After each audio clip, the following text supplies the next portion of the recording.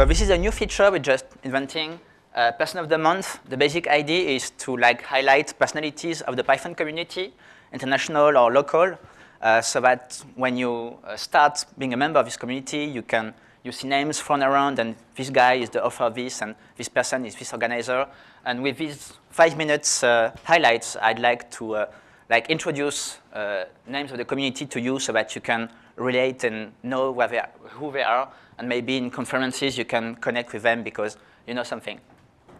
So any feedback is very welcome after, because it's the first time we're doing this. So if you want to do it, you can. If you have any feedback, uh, it will be welcome.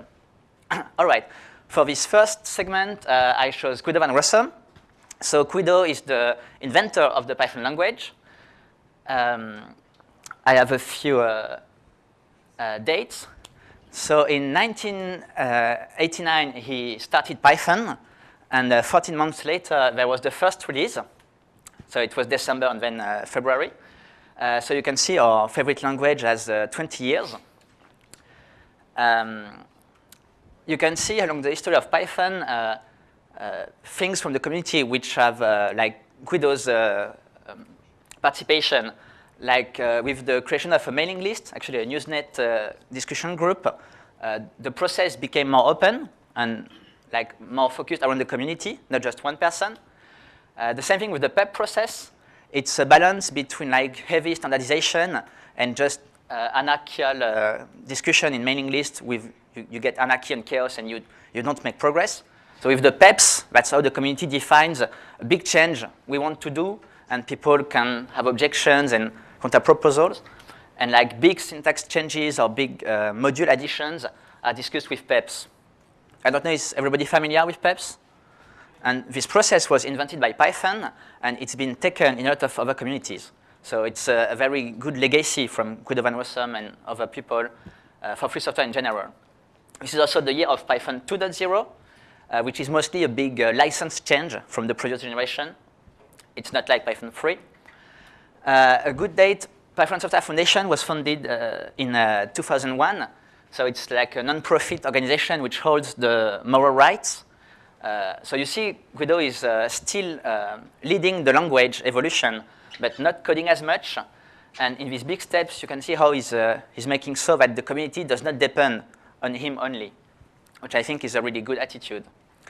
Uh, in 2005, he was hired by Google, and he left in the end of last December, so seven years.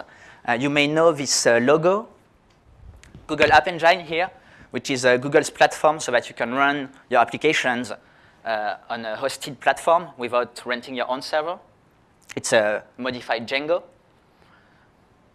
Uh, now it's working for Dropbox. That was the other logo. Uh, a big contribution from Guido is also Rietveld, which is a code review tool. You can use it for free at uh, codereview.appspot.com. and uh, of course, that was the year of the Python 3 release.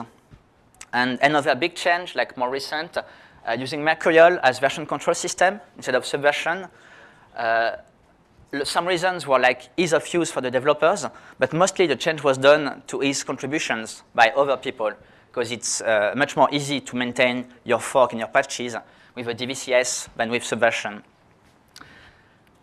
And it took a year to be implemented. Uh, a few interesting links. Uh, that's Guido's uh, car plate. It's in Virginia, it's Python. Uh, that's his website, the homepage on the python.org site. Uh, this is his current weblog when he talks about Python or tech or many things. And this is a really interesting, uh, very interesting blog about the history of Python. You can learn uh, why he used indentation to delimit blocks or meta classes. How did they come to invent that? It's really interesting to understand more about how things were implementing. And the big surprise is that like the first version of classes is just like how we know them today. It's, uh, it's really fun to understand the history. This one is an article about the history of Python, which you don't find from the docs.python.org or his webpage. So I put the link. It's an interesting one. I'd like to leave with a quote from Guido. The joy of coding Python should be in seeing short, concise, readable classes that express a lot of action in a small amount of clear code, not in reams of trivial code that bores the reader to death. Thank you.